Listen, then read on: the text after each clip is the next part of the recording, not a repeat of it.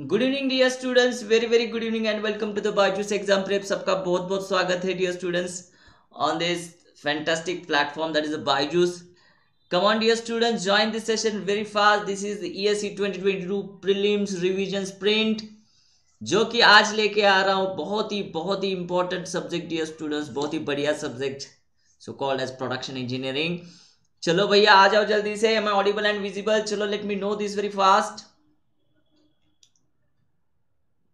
champions मैसूरमाज I am waiting here चलो आ जाओ जल्दी से।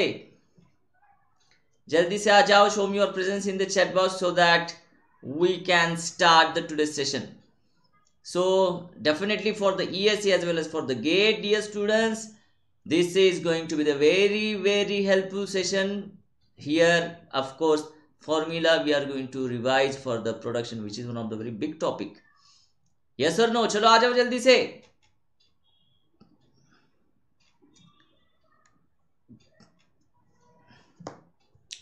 Show me show me your presence there in the chat box. Yes yes, come on come on. Very good very good very good.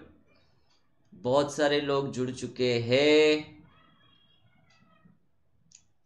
I want to see your comment Rupali welcome Rupali good evening Rupali चलो बताओ am I audible and visible nicely आ जाओ भैया, आ जाओ। Production के formulae करेंगे जितना maximum हो सके। चालू करेंगे मेटल कटिंग के साथ ओके एक एक टॉपिक कॉन्कर करते चले जाएँगे राइट सो चलो आगे बढ़ते डियर स्टूडेंट्स चलो चलो, आ जाओ आ जाओ, बहुत सारे लोग अभी आने बाकी है. So this is about me I Omkar having more than ten years of experience for teaching at and year till now I have mentored more than ten thousand number of students Uh, my area of expertise are production and industrial engineering, fluid mechanics, mechatronics and robotics as well. Okay, so चलो dear students आपको यहाँ पे बाजूस exam prep अपने Hindi YouTube channel के ऊपर आके session को लाइक करना है शेयर करना है और सब्सक्राइब करना है डियर स्टूडेंट्स सब्सक्राइब करने के पीछे बहुत सारे रीजंस है ओके खाली मैं नहीं बोल रहा कि आके सब्सक्राइब करो। आप definitely going to get benefited here best place for your GATE preparation and the ESC preparation dear students बिल्कुल नए अंदाज में हम यहाँ पे आते हैं। आपको conceptual things content practice session जो भी रिक्वायर्ड है, आपको गेट फोड़नी है ईएससी फोड़नी है, इसके लिए भैया हम यहाँ पे आपके लिए ज़रूर है। Okay so please subscribe this channel definitely it is going to be the new experience for you. Okay? Yes. So आगे बढ़ते डियर स्टूडेंट्स तो E S C twenty twenty two prelims revision sprint तो ये अभी चालू है ही dear students और उसके साथ साथ अभी नॉन टेक भी हम लेके आ रहे हैं आपको. सो so, 26 जनवरी को डियर स्टूडेंट्स मैं लेके आऊँगा आपको मटेरियल साइंस ओके सो 26 जनवरी को करेंगे material science non tech of course practice session लेके आऊँगा. राइट एंड डियर स्टूडेंट्स ये रहा अपना जो रिवीजन का जो uh, ये सीरीज़ चल रहा है जो कि आज हो रहा है देखो 24 जनवरी को प्रोडक्शन इंजीनियरिंग राइट कल होगा strength of material Mukesh Sharma sir आएँगे उसके बाद फिर से 27 जनवरी को मैं इंडस्ट्री इंजीनियरिंग लेके आऊँगा and we are we are going to end this particular series with the heat transfer by the Suraj sir चलो भैया चलो आ जाओ जल्दी से।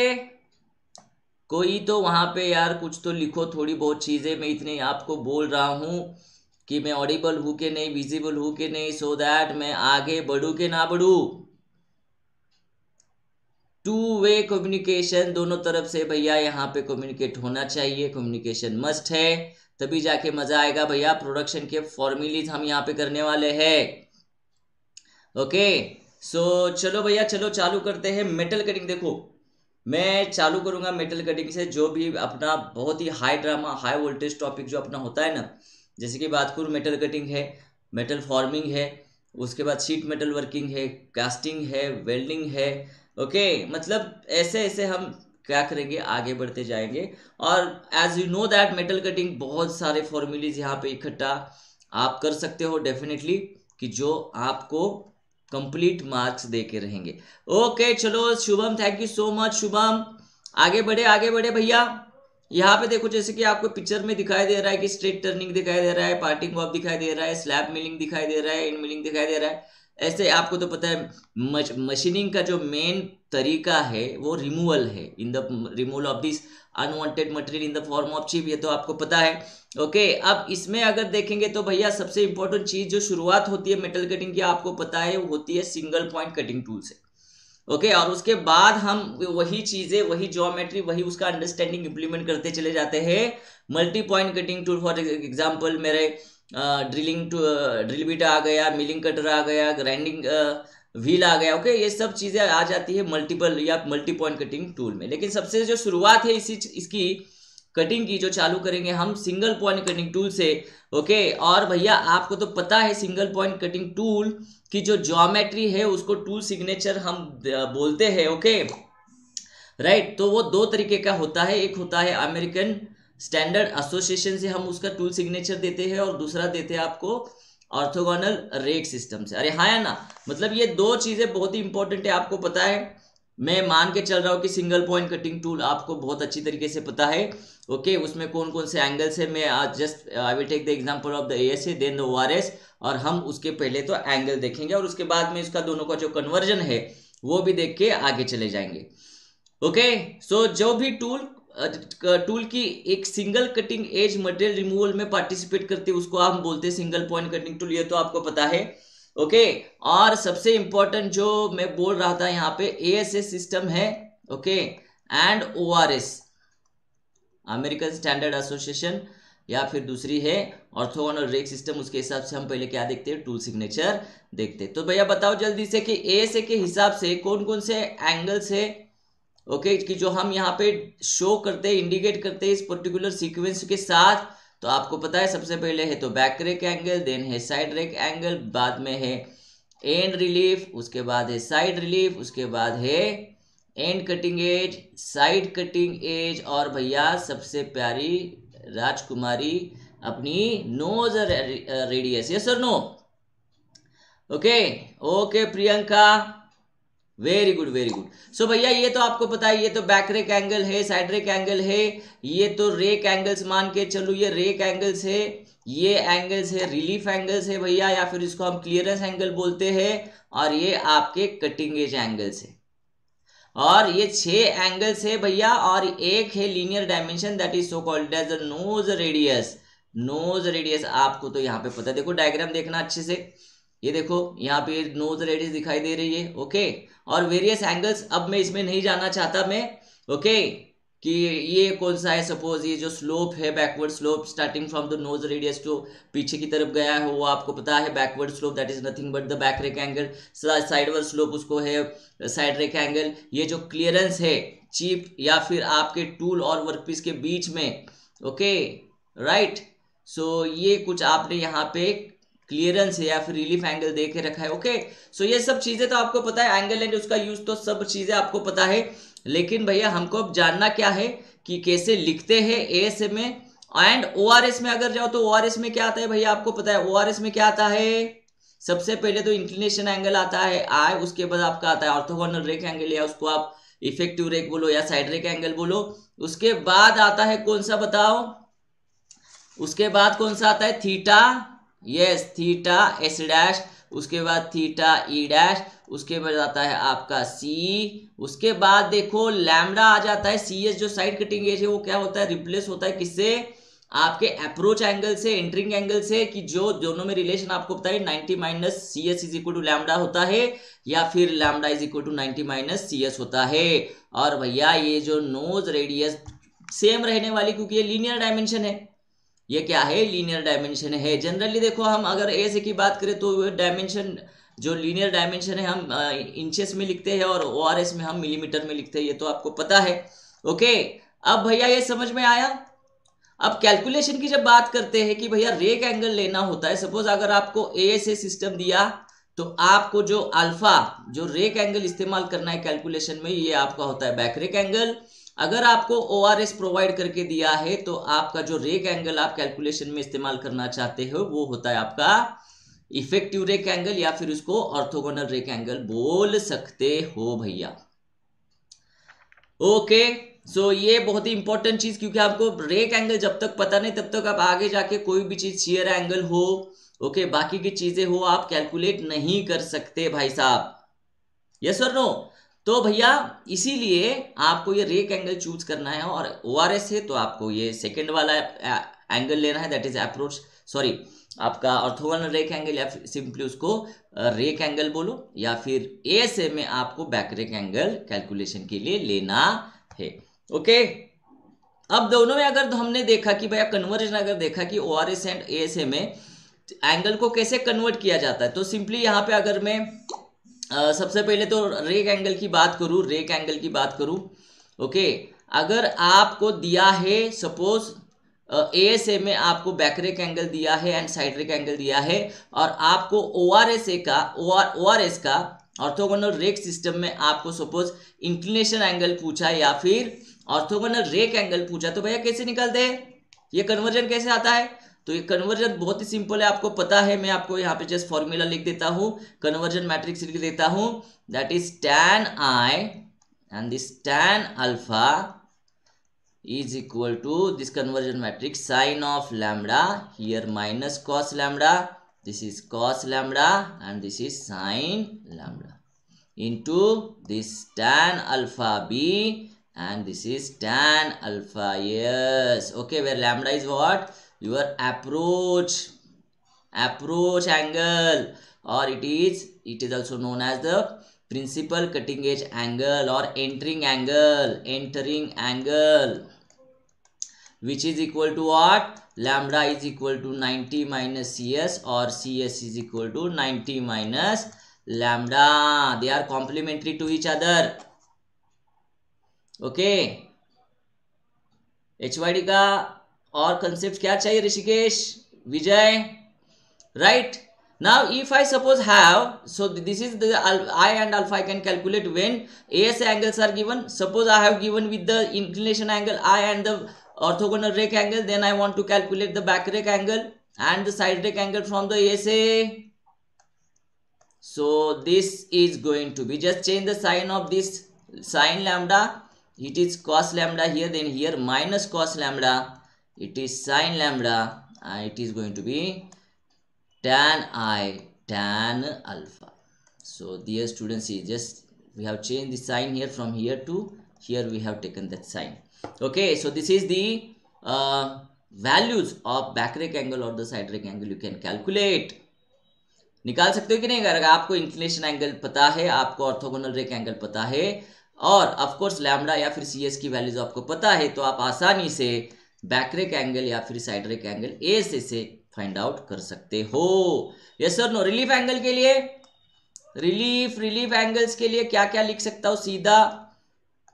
अगर मैं जो मुझे ओ आर एस दिया है O R S is given O R S is given relief के लिए है तो भैया मैं निकाल सकता हूँ cot of theta S cot of theta E is equal to this sine lambda minus cos lambda cos lambda sine lambda into cot of theta S dash and here tan of theta E dash right? या फिर आपको A S A दिया है और आपको आपको O R S पूछा है okay then you can have here this cot of theta S dash tan of theta E dash is equal to sine lambda here minus cos lambda here cos lambda sine lambda into this cot of theta S and cot of theta खत्म बात खत्म बात। भैया, ये देखो, ये conversion ये सी में पूछते रहते हैं। भाई साहब, आपको पता होना चाहिए कि दोनों में कन्वर्जन कैसे हो सकता है? रिलीफ एंगल्स में या फिर रेक एंगल्स में? O R S to A और A S to O R S okay भैया एक बात याद रखना ये जो नोज़ रेडिस है वो अनचेंज रहती है क्योंकि ये लीनियर डायमेंशन है ओके और जो सी एस एंड लैमडा में रिलेशन है ये एक दूसरे को कॉम्प्लीमेंट्री होती है भैया। सपोज़ ये मेरा वर्क पीस में मशीनिंग कर रहा हूँ ओके okay, और here is the tool okay ये सिंगल पॉइंट कटिंग टूल है मेरा this is the feed given okay और ये आरपीएम के साथ मेरा ये जो वर्क पीस है घूम रहा है भैया याद रखना। तो ये जो एंगल है भैया देखो, ये वाला जो एंगल है, ये मेरा एंट्रिंग एंगल है, या फिर जिसे हम लैमड़ा बोलते हैं ओके अप्रोच एंगल और सी एस कहाँ पे आपको है सी एस बेटा यहाँ पे है आपका सी एस ओके तो ये देख रहे हैं, एक दूसरे को complementary C S is equal to ninety minus lambda और lambda is equal to ninety minus C S आप अच्छी तरीके से लिख सकते हो। यस सर नो अरे हाँ या ना, भैया, सबसे इंपॉर्टेंट चीज़ ओके ओके, चलो आगे बढ़ते, चलो आगे बढ़ते। ये देखो, ये अभी देख मैंने आपको दिखाया कि ये फ़ीड दे रही है मेरा टूल है, ओके, ये चिप बाहर निकल के आ रही भैया, ये डेप्थ ऑफ़ कट है, ओके, और ये है जॉब जो मेरा आरपीएम के साथ घूम रहा है तो मैं तीन चीज़ें प्रोसेस पैरामीटर आसानी से दिखा सकता हूँ। स्पीड मतलब ये जो लीनियर ट्रैवल है मेरे टूल का for every one revolution of the work piece और उल्टा भी हो सकता है, कभी वर्क पीस स्टेशनरी हो सकता है या फिर टूल रोटेट हो सकता है। फॉर एग्ज़ाम्पल ड्रिलिंग की बात करूँ। ओके तो ये है फ़ीड उसके बाद है डेप्थ ऑफ़ कट कि कितनी भैया आपकी जो टिप ऑफ़ द टूल है पेनिट्रेट होके अंदर गया है आपके वर्क वर्कपीस के अंदर that is nothing but the depth of cut and finally भैया cutting speed it is a relative velocity of your tool with respect to the work piece okay ये आप तीन वेलोसिटीज आपको पता है, एक तो कटिंग वेलोसिटी एक तो शेयर वेलोसिटी या फिर एक फ्लो वेलोसिटी जिसे आप चीप वेलोसिटी भी कह सकते हो। वो तो आगे आगे देखेंगे। ओके सो so, यही चीज़ें जो अच्छी तरीके से आप यहाँ पे देख सकते हो कि ये है आपकी फ़ीड ओके देन ये जो कुछ है डेप्थ ऑफ़ कट है। ये है कटिंग स्पीड आप रिलेटिव वेलोसिटी दिखा सकते हो। The tool with respect to the work piece okay so ये सब चीज़ें हैं और उसके बाद जो एक इंपॉर्टेंट चीज़ आती है भैया अगर आपके पास अगर आपके पास फ़ीड गिवन है okay which is in millimetre per revolution M M per revolution की बात करें, और आपको नोज़ रेडियस पता है आर नोज़ रेडियस पता है आर तो आप क्या निकाल सकते हो रे भैया? कि कौन से तरीके का सरफेस फिनिश जो है प्रोड्यूस हो रहा है वर्कपीस के ऊपर okay that is we can have here H max that is peak to valley difference between this peak to valley heights H max we can calculate like yup square divided by eight R ये आपका एक important formula आपको पता है किसके लिए? Peak to valley distance find out करने के लिए।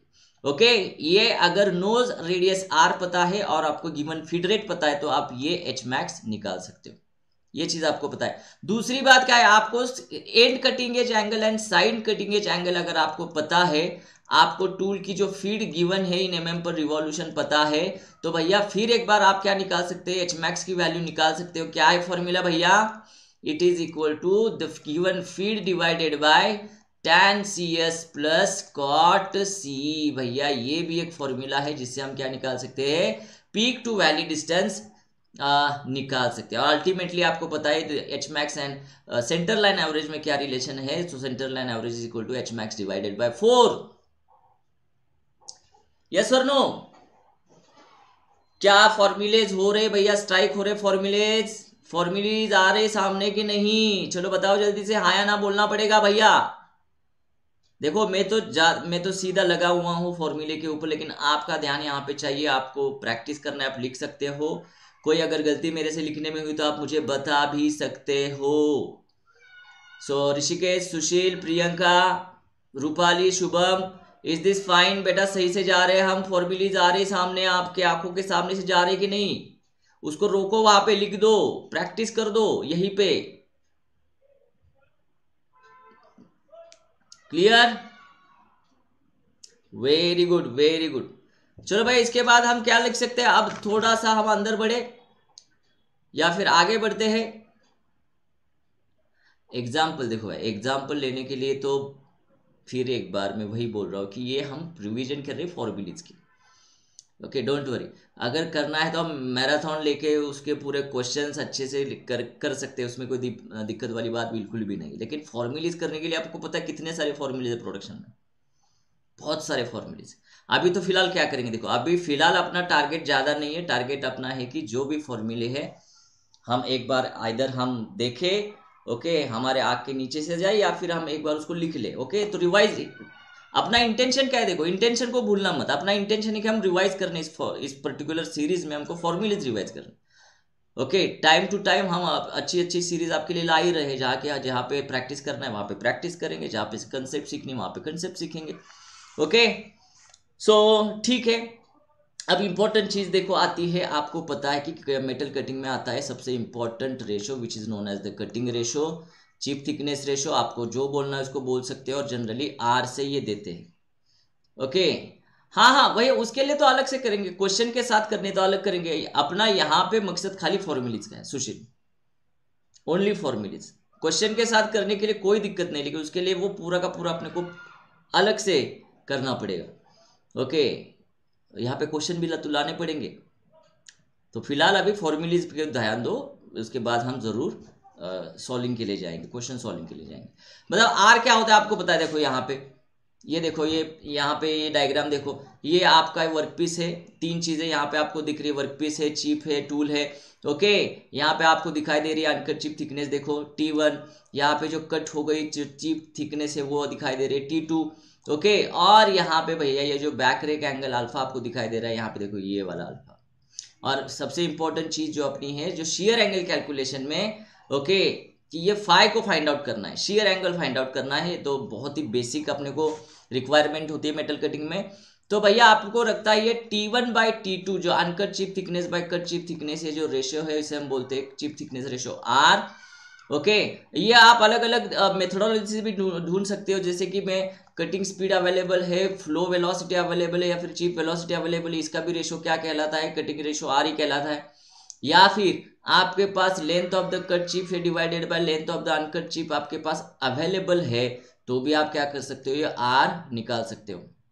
या फिर बहुत ही सिंपल तरीके से इस पर्टिकुलर डायग्राम में अगर मैं ज्योमेट्री करके बताऊँ तो sine phi divided by cos of phi minus alpha ये भी अगर मैं लिखना चाहूँ तो ये हो सकता है मेरा T one by T two which is nothing but the R ये बहुत सारी चीज़ें आपको पता है कि जो आपको आर फाइंड आउट करने के लिए अवेलेबल uh, है उसके हिसाब से आप आर निकालो और आर जब आता है तो आप निकालते हैं tan of shear angle phi which is equal to this r cos alpha divided by 1 minus r sin alpha dear student. This is a very very important formula. किसके लिए है? आपको shear angle find out करना है phi alpha तो आपको पता है, अगर ए सिस्टम है तो बैक रेक एंगल ले लो ओ आर ए सिस्टम है तो आपका ऑर्थोगोनल रेक एंगल ले लो. आर तो आपको पता है कैसे निकालना है, आपको फाइंड आउट करना है phi which is equal to tan inverse of this r cos alpha divided by 1 minus r sin alpha. Very good देखो, ये मैं आर का रेसिप्रोकल ले सकता हूँ, जिसे हम बोलते हैं चीप रिडक्शन कोएफिशिएंट की जो बताता है कि भैया मटेरियल जब आपका ये कटिंग हो रहा है तो वो प्लास्टिकली कितना अच्छे से डिफॉर्म हो रहा है। जनरली इसकी अगर वैल्यू ले लू मैं तो दो से आठ, ये जो जीटा होता है that is the reciprocal of the R ये जो जीटा है वन अपॉन आर जिसे हम कहते हैं चीप रिडक्शन कोएफिशिएंट कि how nicely that that material क्योंकि हम जो कटिंग देखते हैं, ये metal cutting of course it is a kind of plastic deformation which is actually happening on to the rake face of the tool ये आपको पता है।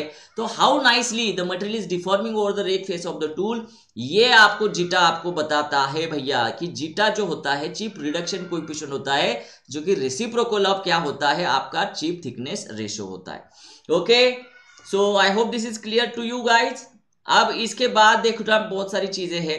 जैसे कि शेयर एंगल मुझे पता चल गया फाई के बारे में पता चला।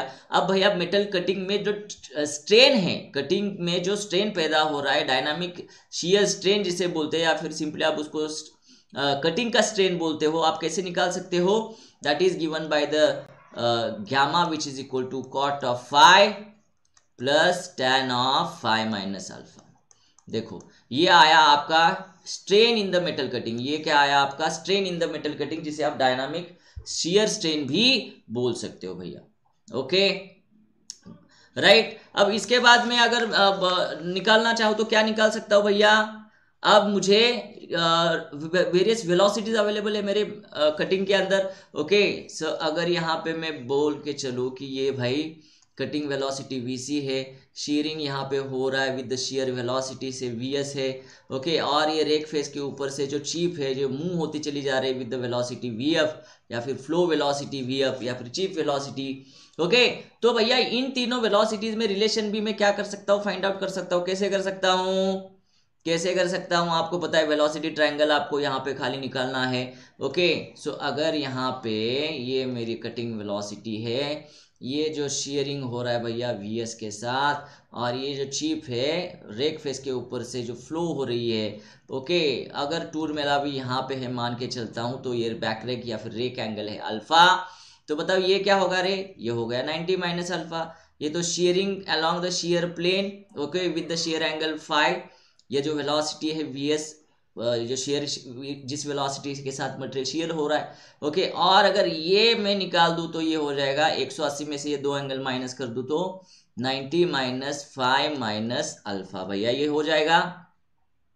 यस और नो तो अब मुझे सिंपली साइन रूल लगाना है यहाँ पे और मुझे हर एक वेलोसिटी में लिख सकता हूँ that is V C divided by sine of this that is sine 90 minus theta this is cos of phi minus alpha is equal to this V S divided by मैं लिख सकता हूँ sine of ninety minus alpha which is cos alpha okay and मैं लिख सकता हूँ finally this V F divided by this sine of phi okay तो देखो ये मुझे मिल गए सब relationship between the velocity cutting velocity shear velocity flow velocity मिलेगी नहीं भैया? Vc divided by cos of phi minus alpha is equal to vs divided by cos of alpha is equal to vf divided by sin of phi okay अब यहाँ पे एक important चीज़ मैं निकाल सकता हूँ कि भैया कि शेयर स्ट्रेन रेट क्या हो सकता है? शेयर स्ट्रेन तो मुझे पता चल गया ग्यामा क्या होता है? अब मैं शेयर स्ट्रेन रेट भी निकाल सकता हूँ कैसे? सो so, ये सिंपल सा है। अगर ये जो thickness of the primary shear zone में अगर डेल्टा ले लू okay that is the average thickness of primary shear zone okay कि आपको पता है ये जो डिफॉर्म होती है चीप रेक फेस के ऊपर it's like sliding the deck of the cards okay okay, जो आप पत्ते खेलते हैं उसको एक के बाद एक के ऊपर एक जैसे आप स्लाइड करोगे वैसे ये जो शेयर प्लेन से एक के ऊपर एक एक के ऊपर स्लाइड होते होते क्या होती है? अपनी पूरी चीप बनती है। तो ये जो डेल्टा जो मैं लिख रहा हूँ ये डेल्टा है। डेल्टा ये क्या अपना थिकनेस ऑफ़ द प्राइमरी सबसे पहला जो आपका जो शेयर प्लेन बना था उसका थिकनेस है डेल्टा की। जनरली स्टील्स के लिए हम 25 माइक्रोन लेते हैं। तो शेयर स्ट्रेन रेट का जो कंसेप्ट है यही से आती है। शेयर स्ट्रेन रेट जो होता है शेयर स्ट्रेन रेट की that is gamma per unit of time अगर मैं लिखता हूँ तो it is equal to the shear velocity shear velocity और ये जो डेल्टा जो मैंने बोला था average thickness of primary shear zone average thickness of primary shear zone में लिखता हूँ तो ये shear velocity V S divided by delta अब ये अगर मैं मीटर पर सेकेंड में लिखूं और ये माइक्रोन में लिखूं या फिर मीटर में लिखूं तो कोई दिक्कत वाली बात नहीं।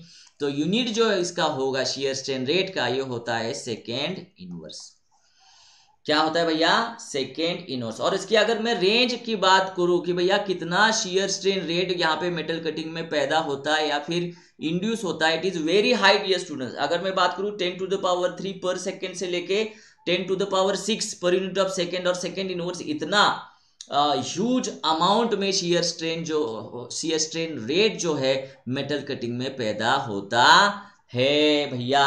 क्लियर मेरी बात? यहाँ तक कोई दिक्कत वाली बात है तो बताओ मुझे, भैया, जल्दी से। देखो ऐसा नहीं कि बहुत ही अंदर अंदर जा रहे हैं हम, ऊपर ऊपर से तो जो जो इंपॉर्टेंट फॉर्मूलेज है उसको ही यहाँ पे डिस्कस करते आगे जा रहे ओके अब इसके बाद अगर कटिंग की बात करें sir value of the delta will be हाँ देखना, याद रखना डेल्टा की वैल्यू में बात बात करूँ जनरली स्टील के लिए 25 माइक्रोन होती है ओके डेल्टा की वैल्यू अगर नहीं भी आपको दी दी तो बहुत अच्छी बात है, नहीं दी तो भैया, आपका जो length of the shear plane है ना, उसका वन टेंथ उसका one tenth that is one tenth of your L S value L S value L S आपका होता है length of the shear plane ये देखो, ये तुम्हारा length of the shear plane है। ये है ना, ये तुम्हारा length of the shear plane है एल एस और कैसे निकालोगे? बहुत सिंपल है। ये आपकी uncut chip thickness T one आपके पास है। ये शेयर एंगल फा है। तो आप लिख सकते हैं sine phi is equal to T one divided by hypotenuse L S so ls is equal to t1 divided by sine phi. You just calculate the ls and take the one tenth of this ls that will be your delta. Delta is will be one tenth of ls अगर कुछ भी नहीं दिया तो अगर कुछ भी नहीं दिया तो दिया तो इससे अच्छी और बात क्या हो सकती है भैया? अगर दिया तो इससे अच्छी बात हो ही नहीं सकती। नहीं दिया तो की बात कर रहा हूँ it should be taken as it is empirical relation it is taken as the one tenth of the length of the shear plane okay आप ले सकते हो वैसे। कोई दिक्कत वाली बात, Shubham? I hope it is clear okay अब देखो, इसके बाद अगर मैं थोड़ा बहुत फोर्सेस के तरफ़ जाऊँ मेटल कटिंग में जो बहुत ही इंपॉर्टेंट है भैया, आप गेट की एग्ज़ाम ले लो, आप ईएसी e में डेफिनेटली इसके ऊपर क्वेश्चन तो बन के रहेगा ओके सो फोर्सेस अब देखो, कौन सा फोर्स कितना, क्या ये सब आपको शायद पता है, मैं वो मान के चल रहा हूँ, मैं डायरेक्ट बढ़ूँगा मर्चेंट फोर्स सर्कल डायग्राम में। लेकिन फिर भी मैं एक एक मोटा मोटा मैं आपको बता दूँ कि फोर्सेस कहाँ पे कौन से लगते हैं। Okay during this cutting action okay so भैया, ये तो आपको पता है along the rake face of the tool अगर मैं सीधा नीचे आता हूँ तो वो लगता है भैया फ्रिक्शन फोर्स ओके उसको अगर नॉर्मल में जाऊँ तो ये तो नॉर्मल फोर्स लगता है, यन. Okay normal to the friction आपका होता है normal component of that force okay उसके बाद भैया, अगर मैं टेंजेंशियली मतलब जो टीप ऑफ़ द टूल उसके जो टीप के ऊपर टेंजेंशियली जो फोर्स एक्ट हो रहा है सपोज़ ये मेरा टूल यहाँ पे है ओके okay, और ये रोटेट हो रहा है वर्क पीस ऐसा। सो so, ये जो टीप ऑफ़ द टूल पे जो फोर्स लग रहा है भैया ये मेरा मेन टेंजेंशियल फोर्स है इसे हम बोलते हैं एफ़ टी सॉरी इसे बोलते हैं main tangential force F C okay कि जो कहाँ पे है टीप ऑफ़ द टूल पे लगता है आपको पता है एफ़ सी ओके और उसको जो परपेंडिकुलर लगता है भैया, जिसे हम बोलते हैं थ्रस्ट कंपोनेंट ऑफ़ फोर्स हमेशा कटिंग एज को परपेंडिकुलर लगता है that is the F T right that is the thrust component of force और द एक्सियल उसके दो कंपोनेंट होते हैं, आपको तो पता है, देखो, ये आपकी जो कटिंग एज है, उसको हमेशा परपेंडिकुलर आपका लगता है, ये एफ़ टी तो उसके डेफिनेटली ये अगर ये सी एस है भैया, ये अगर साइड कटिंग एज एंगल है सी एस तो इसके दो कंपोनेंट तो ज़रूर आएँगे। एक तो आएगा रेडियल कंपोनेंट एक आएगा एक्सियल कंपोनेंट रेडियल कंपोनेंट होगा F T sine C S और हॉरिजॉन्टल कंपोनेंट होगा F T cos C S okay और आपको पता है ये जो पूरा एनालिसिस हम करते हैं, हम मान के चलते हैं कि भैया ये टू डायमेंशनल कटिंग है। टू डायमेंशनल कटिंग जहाँ पे ओनली एफ़ सी एंड क्या है? एफ़ टी है that is our orthogonal cutting हम क्या कर रहे हैं? अज्यूम कर रहे हैं फॉर और देखो फोर्सेस एनालिसिस के लिए सबसे पहला जो बेसिक एजम्पन यही तो है कि भैया कटिंग कोई ऑब्लिक हो कुछ भी हो पहले तो हम उसको क्या करते हैं कन्वर्ट करते हैं ऑर्थोगोनल में सो दैट अपना एनालिसिस क्या हो जाए पूरा आसानी से कंप्लीट हो जाए। ओके सो यहाँ पे देखो आ, ये तो देखो यहाँ पे फोर्सेस दिखा रहे दिखा के रखे हैं। ओके ये है टिप पे लगने वाला है एफ़ सी इसके परपेंडिकुलर ये जो तुम्हारी कटिंग है जो उसको लगने वाला है आपका एफ़ टी एफ़ टी के भैया दो कंपोनेंट है एफ़ एफ़ ए और दूसरा है एफ़ आर बहुत ही सिंपल तरीके से आप यहाँ पे देख सकते हो ओके अब यहाँ पे बहुत ही इंपॉर्टेंट जो पूरा रिलेशन है हर एक चीज़ में जो हर एक मतलब में आ, मैं अगर shear velocity along the shear जो शेयर को रेजिस्ट कर रहा है वो तो आपका शेयर फोर्स भी लग रहा है ये तो मैंने नहीं दिखाया यहाँ पे मैं दिखा सकता हूँ देखो। सो so, ये यहाँ पे रेजिस्टिंग फोर्स है शेयरिंग फोर्स एफ़ एस यहाँ पे चीप को एक फोर्स बैकअप कर रहा है देखो। बैकअप कर रहा है that is nothing but your F S N right chip को बैकअप करने वाला फोर्स मतलब ये शेयर फोर्स है उसका normal component F S N है।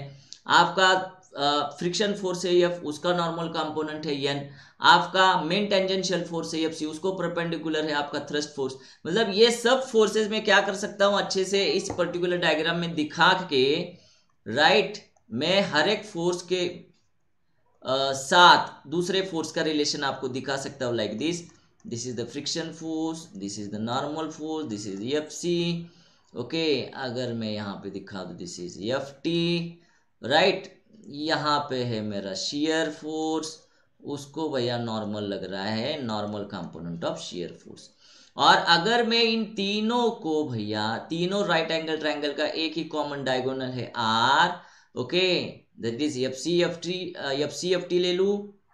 ओके ये F C F T F S F S N ले लू एफ़ एन ले लू सो सभी में कॉमन डायगोनल है आर और अगर मैं सर्कल निकालता हूँ तो ये आपको पता है कहाँ से पास होता है जो कि मैं कभी भी सर्कल नहीं आता मेरा इलिप्स दिखता है। ओके सो ये है आपका मर्चेंट फोर्स सर्कल डायग्राम आप एंगल्स uh, भी दिखा सकते हो कोई दिक्कत वाली बात नहीं है यहाँ पे। देखो एंगल्स है आपका rake angle alpha then this is five ये फाइव है नाइन्टी माइनस फाइव हुआ, ये नाइन्टी माइनस फाइव ये नाइन्टी तो ये होगा फाइव ऐसे ही आप जोमेट्रिक करके ऊपर वाला रीजन लेके, नीचे वाला रीजन लेके आप measurable forces and actual forces जो कि देखो, दो ही मेजरेबल फोर्सेस आपको मर्चेंट फोर्स सर्कल में दिखाई देते एक तो आपका thrust force okay F T और आपका दूसरा F C tangential force main tangential ये जो है, ये आपके मेजरेबल काम डायनोमीटर को जस्ट आप नीचे रखो टूल के आपको ये दो फोर्सेस मिल जाएँगे, एक तो मेन टेंजेंशियल फोर्स और दूसरा थ्रस्ट फोर्स ये मेजरेबल फोर्सेस है। और जो एक्चुअल फोर्सेस है, आप तो पता है आपको एक्चुअल फोर्स में आपका आता है shear force normal to the shear force आपका friction force and normal to the friction force ये जो भैया है, सब क्या है? ये एक्चुअल कंपोनेंट ऑफ़ फोर्सेस है, ये एक्चुअल कंपोनेंट ऑफ़ फोर्सेस है।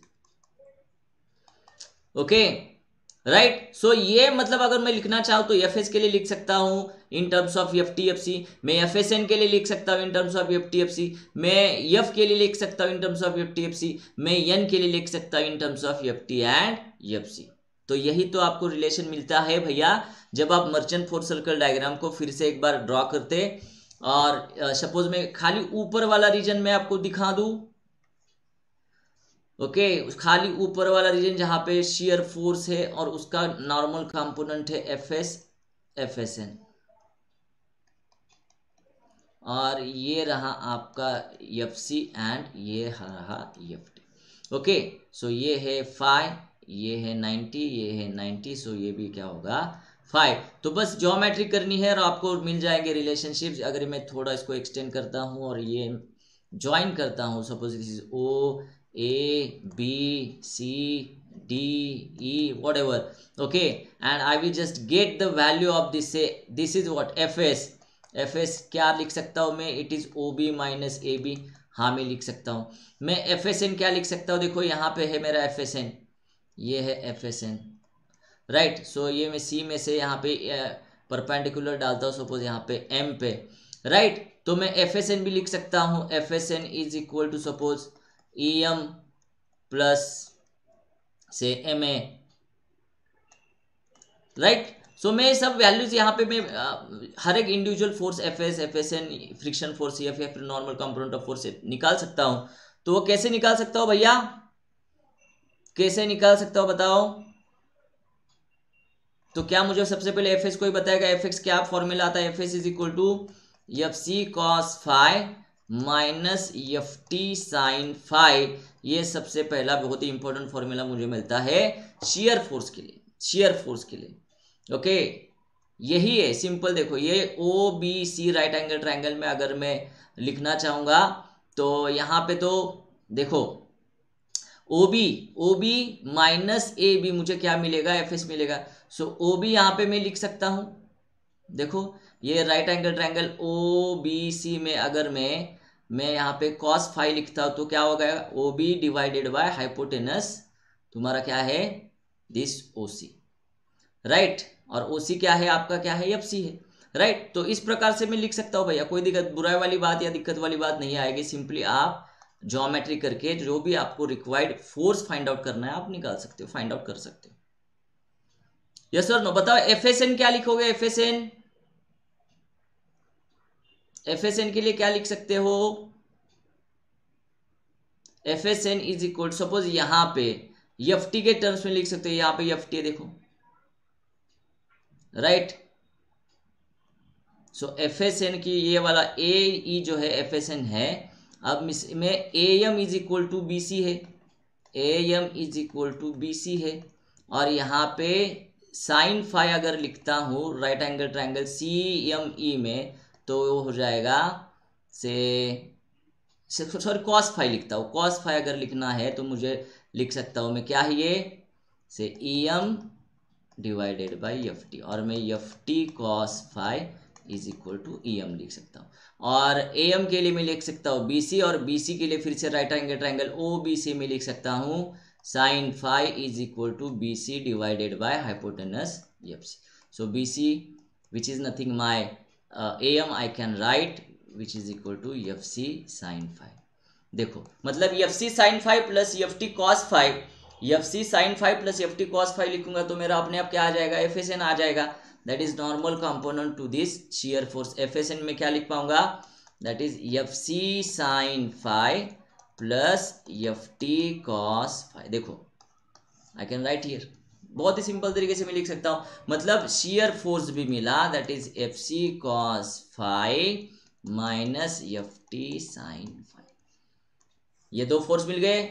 That is these two actual forces fs and fsn in terms of two measurable forces fc and ft भैया देखो ये मिला मुझे एफ़ एस का एंड एफ़ एस एन का फॉर्मूला सेम तरीके से अगर मैं नीचे वाला मैं मर्चेंट फोर्स सर्कल डायग्राम वाला पार्ट ले लू, इसके नीचे वाला है मतलब यहाँ पे मतलब ये आएगा मेरा एफ़ और ये आएगा एन इतना ही मैं पार्ट ले लूँ और एफ़ सी और एफ़ टी यहाँ पे रखूँ तो फिर से मुझे मिलेगा दो कंपोनेंट ऑफ़ फोर्सेस मिलेंगे, एक मिलेगा frictional force which is equal to F C sine alpha plus F T cos alpha ये मुझे मिलेगा। और नॉर्मल कंपाउंड ऑफ़ इसका मिलेगा मुझे, क्या मिलेगा?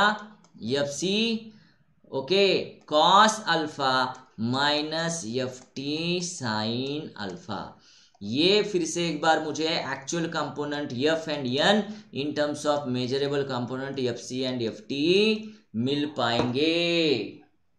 और भैया अकॉर्डिंग टू और फ्रिक्शन थियरम आपको पता है कि F is equal to mu times N so frictional force upon normal force is nothing but my coefficient of friction in दोनों का अगर मैं रेशियो ले लूँ, आपके पास अवेलेबल है ऑलरेडी एफ़ एंड एन तो मैं लिख सकता हूँ F divided by N is equal to mu okay which is nothing but from the merchant force circle diagram only मैं यहाँ पे क्या लिख सकता हूँ? देखो, ये जो एंगल है टैन ऑफ़ बीटा मैं लिख सकता हूँ F upon N okay beta beta is the friction angle beta is the friction angle मैं लिख सकता हूँ tan of beta is equal to F divided by N which is nothing my coefficient of friction between the rake face of the tool and the chip ये है mu F upon N so यहाँ पे अगर simply तुम्हें लिखू that is F C tan alpha plus F T divided by F C minus F T tan alpha ये मैं लिख सकता हूँ coefficient of friction in the metal cutting अरे हाँ या ना लिख सकता हूँ कि नहीं? कोई दिक्कत वाली बात? और which is equal to tan beta mu which is equal to tan beta बहुत सिंपल सी बात। ओके okay, अब यही देखो अब यही पूरा सब जो चीज़ें हैं हम अगर मर्चेंट फोर्स सर्कल में दिखा दे एक साथ तो क्या भैया हो सकता है? जरा देखो यहाँ पे।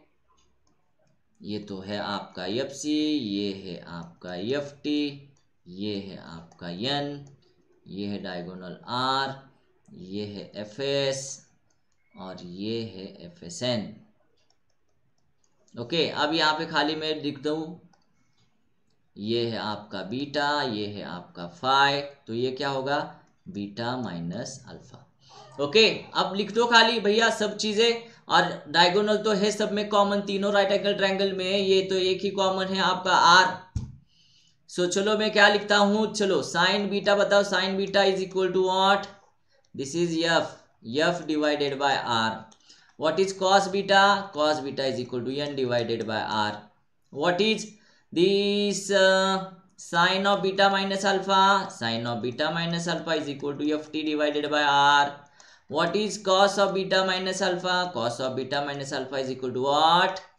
This fc divided by r. And ये जो अगर दो एंगल्स मिला दू five plus beta minus alpha so I will write here sine of five plus beta minus alpha बताओ क्या होगा? It is equal to F S N divided by R and cos of five plus beta minus alpha क्या आएगा? F S divided by R तो हर जगह पे अगर मैंने आर के टर्म्स में पूरा का पूरा एक फॉर्मूला लंबा चौड़ा बना दिया बाय हार्ट करने की ज़रूरत फिर से नहीं है, मैं बोल रहा हूँ भैया बाय हार्ट करने की ज़रूरत बिल्कुल भी नहीं है। तो मैं क्या लिख सकता हूँ? आर इज़ इक्वल टू बताओ whether it is F divided by sine beta cos divided by N divided by cos beta देखो f divided by sine beta is equal to n divided by cos beta is equal to is equal to f t divided by sine of beta minus alpha is equal to f c divided by cos of beta minus alpha is equal to F S divided by cos of five plus beta minus alpha is equal to F S N divided by cos of five sorry sine of yes और no sine of five plus beta minus alpha is isn't it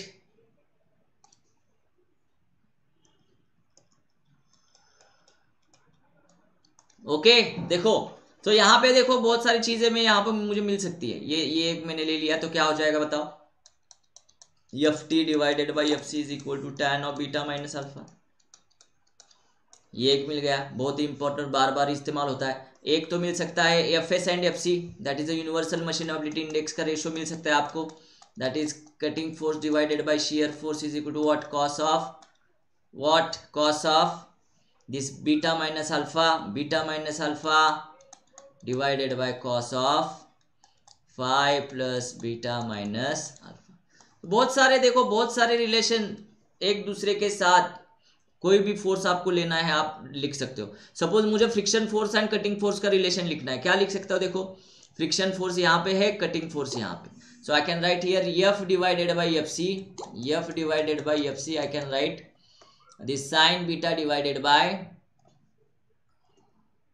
sine beta divided by cos of this beta minus alpha see here and मैं अगर बोलूँ, देखो, मैं अगर बोलूँ, यहाँ पे कोई स्पेशल केस बनानी है कि भैया रेक एंगल टूल का ज़ीरो है तो बताओ ये F C F divided by F C क्या कहलाएगा? ये अल्फ़ा ज़ीरो हो जाएगा तो बताओ क्या होगा? Sine beta divided by cos beta that is nothing but tan beta and tan beta क्या होता है? म्यू मतलब जैसा चाहे आप उस फॉर्मूले को घुमा फिरा के जो भी रिक्वायर्ड चीज़ है, जो भी आप चाहते हो, वो फाइंड आउट कर सकते हो आसानी से। Yes sir no yes sir no तो देखो, कोई भी कोई भी फोर्स किसी की भी दूसरे फोर्स के साथ आपको रिलेट कर सकते हो, आपको फॉर्मूला मिलेगा। आपको बाय हार्ट करने की आवश्यकता नहीं है, फिर से बता रहा हूँ। ओके तो ये कुछ चीज़ें आपको मर्चेंट सर्कल से मिलती है, बहुत ही अच्छी तरीके से मिलती है, रटने की कोई ज़रूरत नहीं है, आवश्यकता नहीं मर्चेंट फोर सर्कल डायग्राम निकालना सीखो that is more than enough okay चलो अब जाते हैं। Very good Parvinder. Shear stresses आपको पता है। शियर स्ट्रेस आपको पता है तो बताओ शियर एरिया निकाल सकते हो? शियर स्ट्रेस आपको अगर गिवन है क्वेश्चन में शियर एरिया आपको, आप तो निकाल सकते हैं। How to get the shear area भैया? This is the shear area just three view I just draw here so that you can the idea where actually the chip is coming from. So where is the sheared area? So here it is sheared area. This is the sheared area. So what is the sheared area? This length of the shear plane multiplied by the width of the workpiece. Yes or no? And you know how to get this ls it is t1 divided by sine phi. So this is the hatched area. This is the actually sheared area. I can write the sheared area is what? That is this width of the workpiece into LS. So B into LS is what? T1 divided by sine phi. That is BT1 divided by sine phi is the shear area dear students in the metal cutting mm square okay and now if i know the shear stress multiply by the shear area what i will get i will get the shear force see here newton per mm square multiply by mm square, i will get the shear force shear force. So, merchant merchant ने भैया ये नहीं कहा कि खाली भैया मेरा ही diagram इस्तेमाल करके आप ये शेयर फोर्स निकालो या फिर बाकी की फोर्सेस निकालो। वो बोलता है कि भैया अगर अवेलेबल आपके पास डेटा रिक्वायर्ड डेटा आपके पास अवेलेबल है लाइक मटेरियल प्रॉपर्टीज़ आपके पास है तो भी आप क्या कर सकते हो? शेयर फोर्स निकाल ही सकते हो। यस सर नो और दूसरा normal component of this force sigma N कैसे निकाल सकते हैं भैया? That is F S N divided by the sheared area okay shear stress तो आप निकाल सकते हो, दूसरा आपको पता है नॉर्मल स्ट्रेस उसके बिना तो रिजल्टेंट कभी निकलेगा ही नहीं। यस और R is equal to root और sigma N square plus tau square और यही तो जो मर्चेंट ने पहला सॉल्यूशन दिया था भाई साहब, इसने ये बंदे को क्या कर दिया? टोटली इग्नोर कर दिया। और इसकी वजह से जो पहली थेरी उसने निकाली for the minimum work done के लिए ओके मर्चेंट का जो पहला सॉल्यूशन निकला, क्या निकला था? That is two five plus beta minus alpha is equal to ninety degree की जो जनरली फेल थेरी थी। ये सिंथेटिक मटेरियल के लिए अच्छी काम कर रही थी, लेकिन हमारा जो काम था मेटल कटिंग का, जो मेटल स्टील के साथ है फेरस के साथ है तो भैया क्या हुआ था? ये थेरी अच्छे से काम नहीं कर पा रही थी, इसलिए फिर से जो इसने सिग्मा एन कंसिडर किया on the principal plane okay और फिर जाके फिर से डिराइव की थ्री और यहाँ पे वो क्या आया? दूसरा सॉल्यूशन आया। It is cot inverse of K जिसे जनरली हम बोलते हैं मशीनिंग कांस्टेंट सीएम अरे हाँ ना ये तो आपको पता है मैं इस, इसमें नहीं जाना चाहता। तो ये है पहला सॉल्यूशन फ़र्स्ट सॉल्यूशन जब भी कभी देखो क्वेश्चन के अंदर बोलते हैं कि भैया मर्चेंट का पहला सॉल्यूशन यूज़ करो या फिर यूज़ द मर्चेंट थेरी तो बार याद रखना बात को कि भैया ये हमको two five plus beta minus alpha is equal to ninety degree. इसका कोई इस्तेमाल करके हम क्या कर सकते हैं? शेयर एंगल फाइंड आउट कर सकते हैं या फिर कोई फ्रिक्शन एंगल फाइंड आउट कर सकते हैं। जब भी कभी आपके पास क्वाइट एडिक्वेट डेटा नहीं है अवेलेबल शेयर एंगल कैलकुलेट करने के लिए फाइंड आउट करने के लिए तो आप डायरेक्टली इसका इस्तेमाल कर सकते हो, किसका? मर्चेंट की पहली थ्योरी का, पहले सोल्यूशन का। और जब भी कभी देते हैं क्वेश्चन में तो नो डाउट आप इसको आग बंद करके यूज़ कर सकते हो। इसीलिए तो वो दिया होता है। ओके कभी कभी भैया ये मर्चेंट सर्कल नहीं बोलते, भैया ली एंड शैपर थेरी का इस्तेमाल करो। कि जो थेरी ऑफ़ प्लास्टिसिटी के ऊपर या स्लिप लाइन के ऊपर जो आधारित थेरी थी ली एंड ईसी ली और बी डब्ल्यू शैफर दोनों आए थे भैया कि बोले, हम थेरी ऑफ़ प्लास्टिसिटी से क्या करेंगे? मेटल कटिंग की थेरी क्या करेंगे? डिराइव करेंगे। तो उन्होंने बोला five plus beta minus alpha ये क्या होगा? 45 डिग्री होगा। भैया, ये याद रखना, ये ली एंड शैपर का इक्वेशन है। किसका इक्वेशन है ये? ली एंड शैपर का इक्वेशन ओके भैया, ये भी क्या हो गया? ये भी क्या हो गया? फेल हो गया। जो भी ट्रेंड मर्चेंट ने सेट किया था, उस वैल्यूज़ भले एक्सपेरिमेंटली कुछ अलग आई। Five beta minus alpha versus तुम्हारा जो फाइव था, भले वो चेंज हुआ।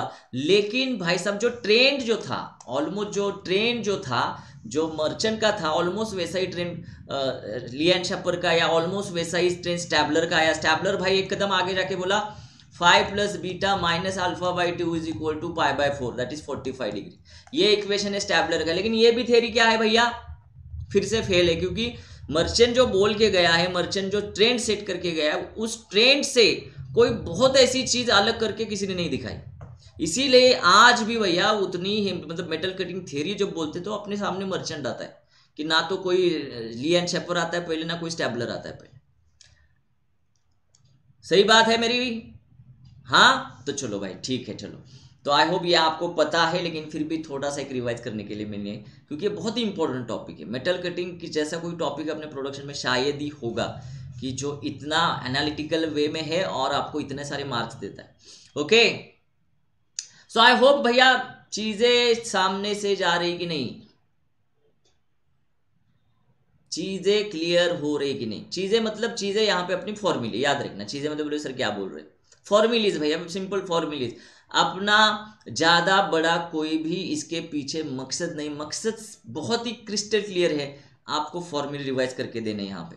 ओके वेरी गुड फैंटास्टिक चलो भैया पावर के बारे में बात करें।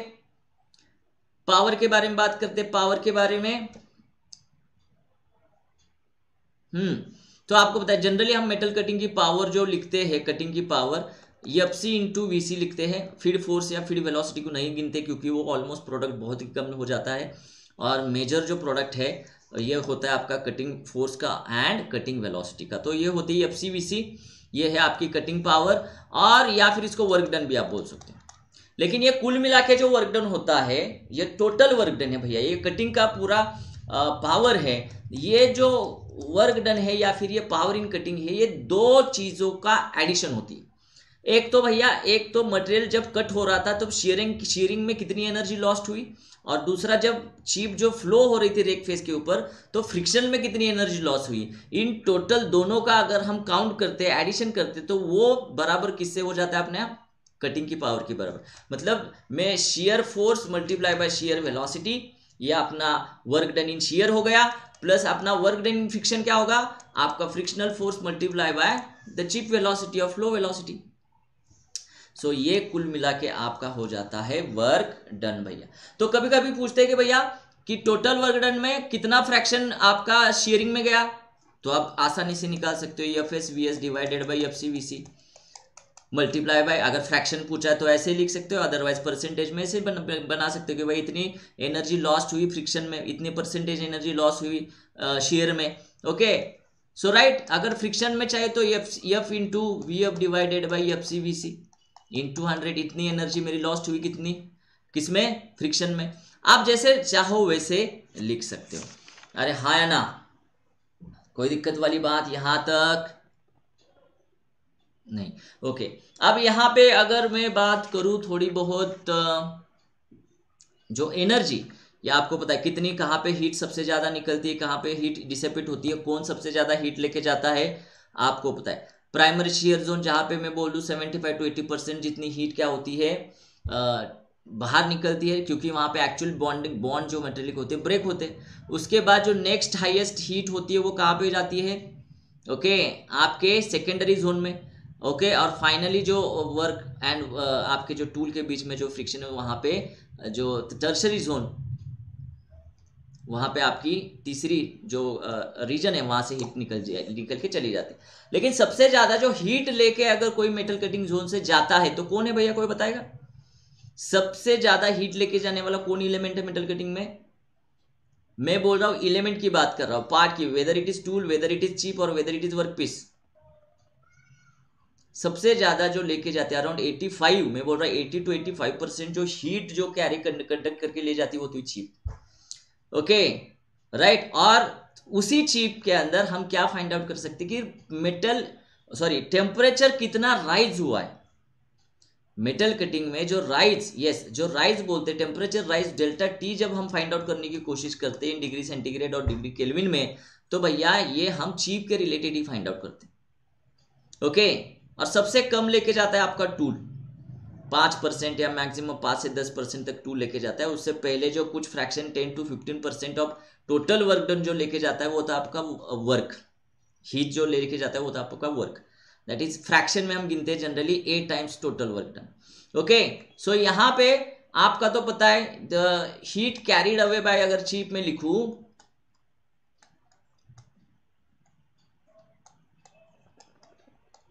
तो क्या होगी रही है that is what M C P delta T okay which is equal to what your actually total work done जो है टोटल वर्कडन जो है, देखो heat carried away by chip plus A times work done which is nothing but the heat carried away by your work piece tool का तो गिनती नहीं, बहुत ही कम है।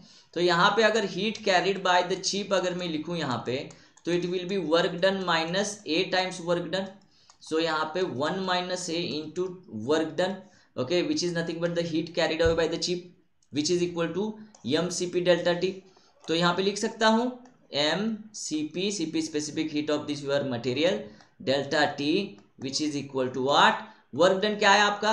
F C into V C into bracket one minus so यहाँ पे डेल्टा टी मुझे चाहिए H is equal to F C V C into bracket one minus E divided by mass कैसे लिख सकता हूँ mass volume into density so what is volume that is area into से cutting velocity okay that is my actually the mass into density करना पड़ेगा density of the material into C P right this is my delta T that is temperature rise और यहाँ पे area तो पता है normal area क्या होता है?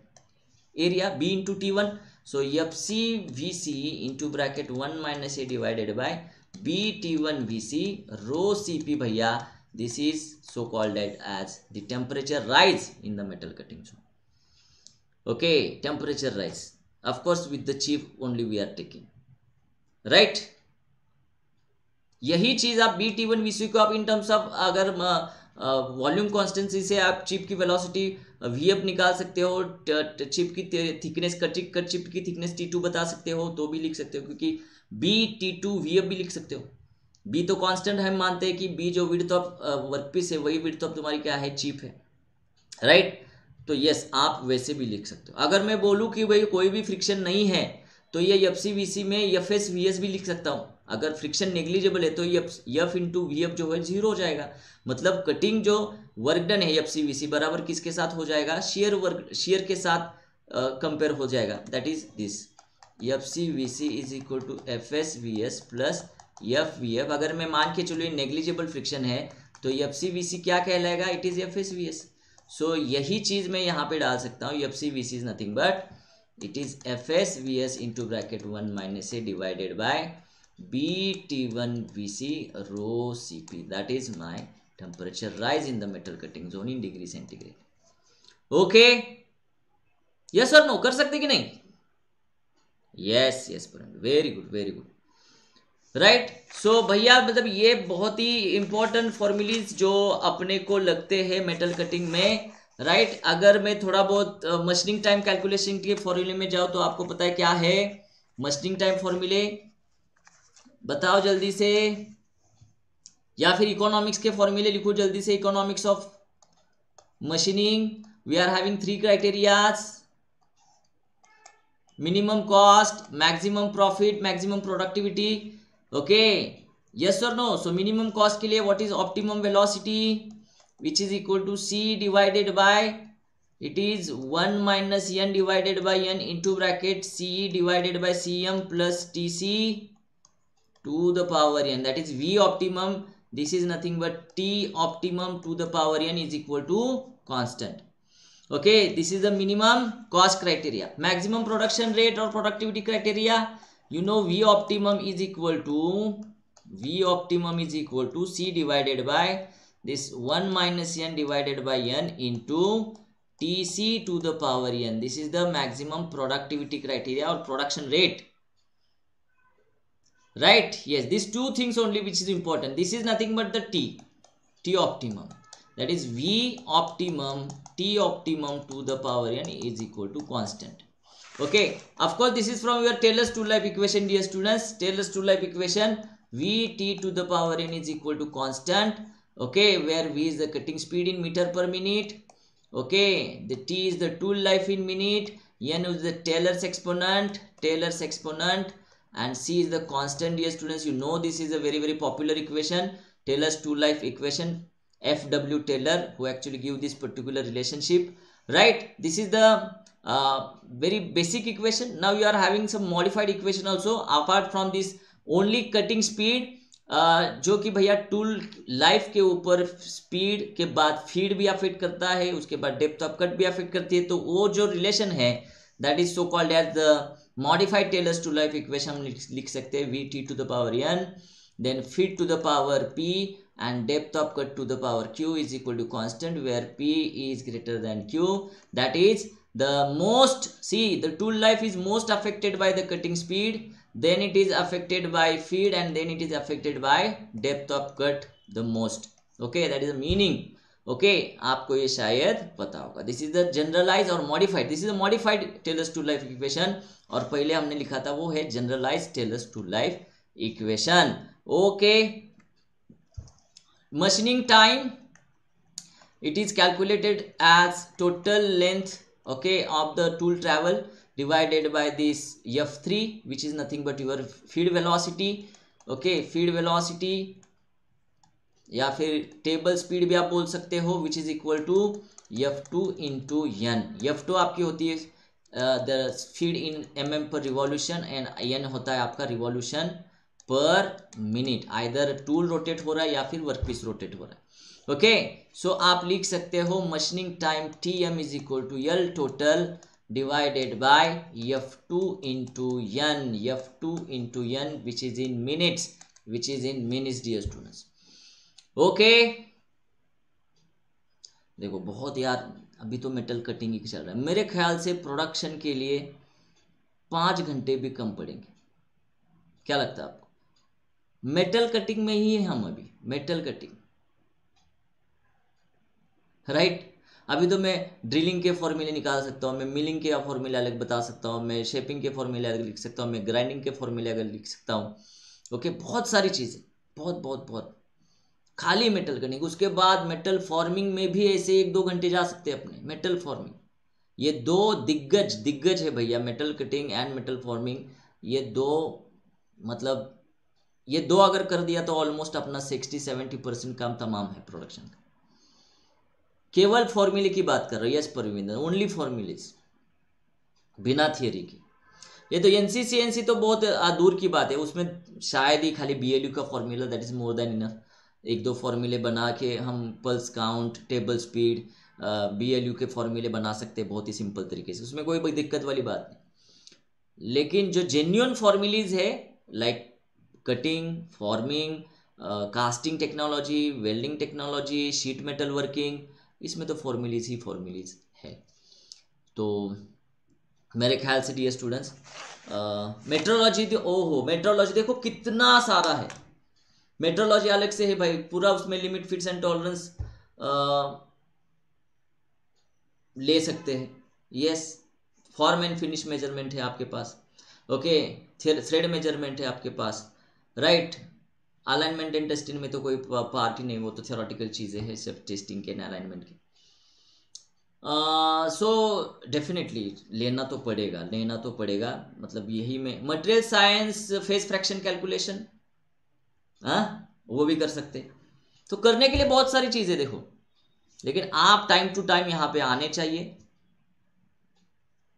Can I do M tech in machine learning और ये that is the actually current trend basically अगर आप ए आई में जाना चाहते हो तो भैया इससे और क्या अच्छा हो सकता है? बहुत अच्छी ब्रांच है अभी। बहुत अच्छी इमर्जिंग फ़ील्ड है और इंपॉर्टेंट है। पुरुषोत्तम, ये कौन से आई में है? हमको देखना पड़ेगा।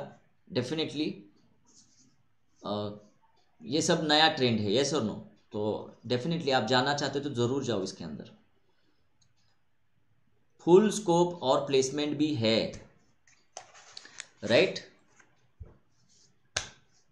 सो so, मैं मैं यहाँ पे क्या करता हूँ? देखो भाई क्योंकि साढ़े आठ होने का है नौ बजे मेरा फिर से सेशन भी है। तो फिर से नो डाउट प्रोडक्शन का करना है तो अपने को छः सात घंटे तो मिनिमम लगने वाले हैं ये बात मान के चलो। तो उसके हिसाब से नए से प्लान करना पड़ेगा सेशन और दूसरी बात, छब्बीस जनवरी को मॉक टेस्ट होने वाला है भैया मॉक टेस्ट ये आपको जल्दी पता चलेगा, छब्बीस जनवरी को पूरा मैकेनिकल इंजीनियरिंग का मॉक टेस्ट होगा। पूरा, जैसे आपका गेट रहता है, तीस मार्क के सपोज़ आपके एक एक मार्क के थर्टी क्वेश्चन उसके बाद टू टू मार्क के क्वेश्चन मैथमेटिक्स होगा एप्टी होगा, हर एक सब्जेक्ट वाइज वेटेज आपके उस पर्टिकुलर पेपर में होगा। मॉक पूरा गेट का paper right so I hope I want to see all of you there और कंडक्ट करने के लिए सोनू सर है मुकेश शर्मा सर है और मैं।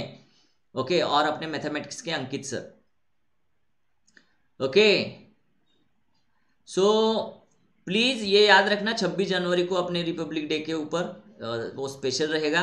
मॉक टेस्ट पूरी कंप्लीट कराएँगे मैकेनिकल इंजीनियरिंग के लिए। Right right? So PDF yes में, देखो, मैं बनाने इवन फ्लूड मैकेनिक्स की भी मैंने, हमने डायनामिक्स तक कंप्लीट किया था, लेकिन मैंने पूरे फॉर्मूले कलेक्ट करके रखे हैं तो उसका पीडीएफ बनाना है।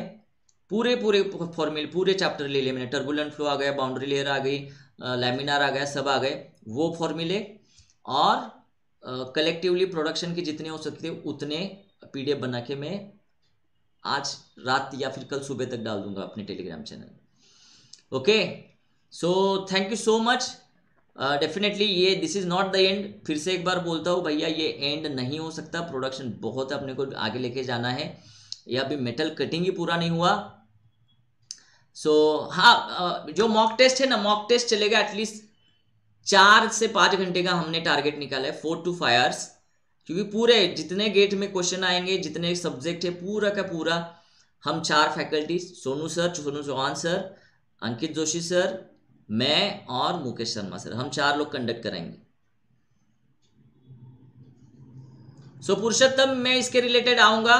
परसों हम इसके रिलेटेड बात करेंगे। I will have some information I will have some clarity and then we will discuss Parvinder sir एक बार एंड मिलिंग और साइड सब सब कर दूँगा कर दूँगा। कोई दिक्कत वाली बात नहीं।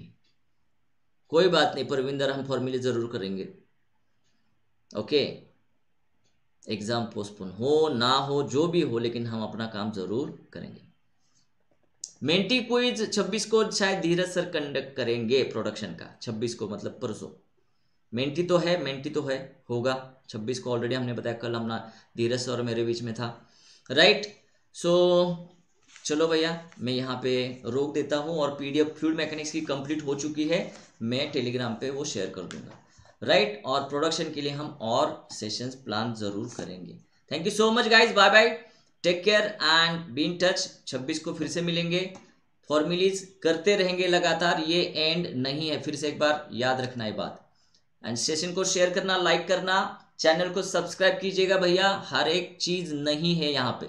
नई नई है यहाँ पे। So I want all of you here thank you so much guys bye bye take care Jai Hind Jai Hind.